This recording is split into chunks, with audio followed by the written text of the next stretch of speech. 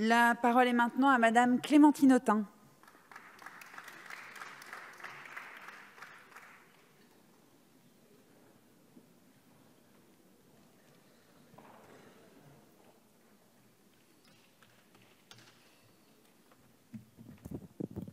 Madame la Présidente, mes chers collègues, au fond, je vous le disais tout à l'heure, quel est l'enjeu de cette loi de moralisation de la vie publique, si ce n'est combattre la défiance profonde d'une majorité de nos concitoyens vis-à-vis -vis de la politique, des élus, des institutions républicaines. Or, la loi que vous nous proposez passe à côté de son sujet. Car qui peut croire un instant que les articles soumis à notre approbation sont de nature à lutter contre l'abstention qui atteint des records à chaque élection, à lutter contre les affaires de corruption qui émaillent l'actualité, les propos haineux et si nombreux que l'on peut lire sur les réseaux sociaux à l'encontre des hommes et des femmes politiques, voire les actes d'agression physique. Ne voyez-vous pas, ne ressentez-vous pas l'état de malaise démocratique que traverse notre pays? Or, les racines du mal, elles viennent évidemment d'abord de la succession de politiques qui se ressemblent et abîment les conditions de vie du grand nombre, des promesses de progrès non tenues, du décalage incessant entre les discours et les actes qui laminent la confiance dans la politique.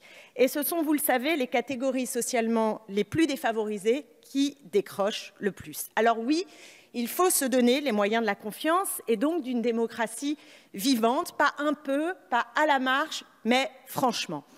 Pardonnez-moi, mais la loi qui est ici euh, proposée apparaît finalement assez cosmétique au regard des enjeux du contexte que je viens d'évoquer.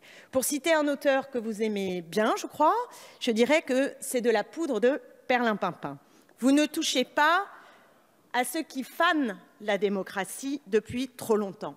Les parlementaires deviennent la cible quand l'exécutif et les milieux d'affaires la finance, les lobbies, les grands médias se trouvent de fait exonérés de cette nécessaire moralisation.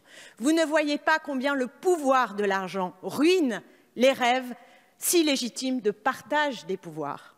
Alors après, vous pourrez toujours vous réjouir d'avoir transformé l'IRFM euh, des députés en note de frais, et c'est bien, d'avoir instauré une peine complémentaire obligatoire d'inéligibilité en cas de crime ou de manquement à la probité, ou d'avoir créé un dispositif facilitant le dialogue entre banques, candidats et partis. Un point d'ailleurs obtenu au forceps par les députés de la République en marche, comme quoi quand vous voulez, vous pouvez faire avancer les lois. Bref, quoi d'autre? Citons peut-être les registres publics de déport pour les parlementaires, mais pas pour les ministres, n'exagérons rien, en situation de conflit d'intérêts sur des textes ou des votes.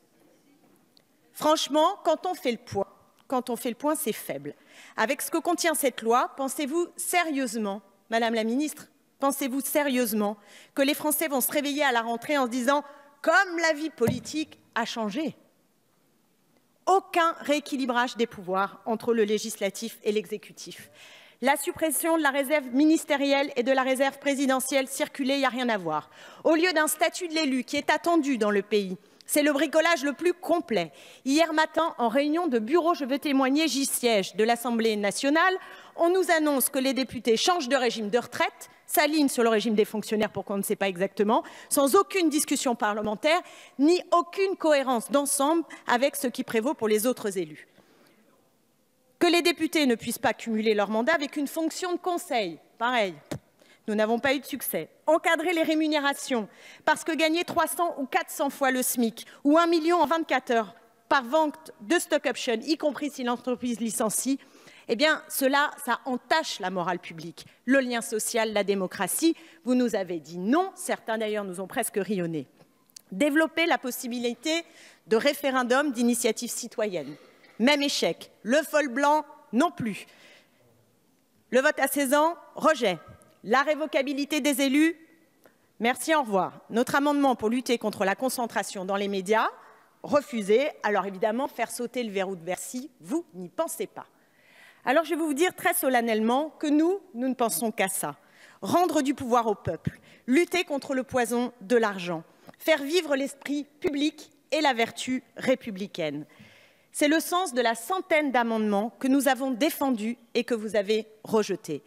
Dans ce moment où la démocratie est malade, ce n'est pas d'une pichenette de mesures tièdes et désarticulées dont nous avons besoin, mais d'un processus constituant qui définissent une nouvelle République. Ce n'est pas en urgence l'été et dans l'entre-soi que nous trouverons les réponses au mal-être démocratique français, mais dans un processus public, large, profond, populaire, qui nous emmène vers une nouvelle ère de la République française.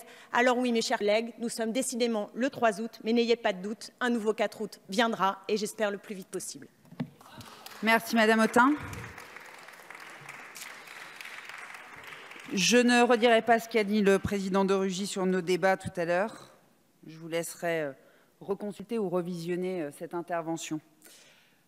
Madame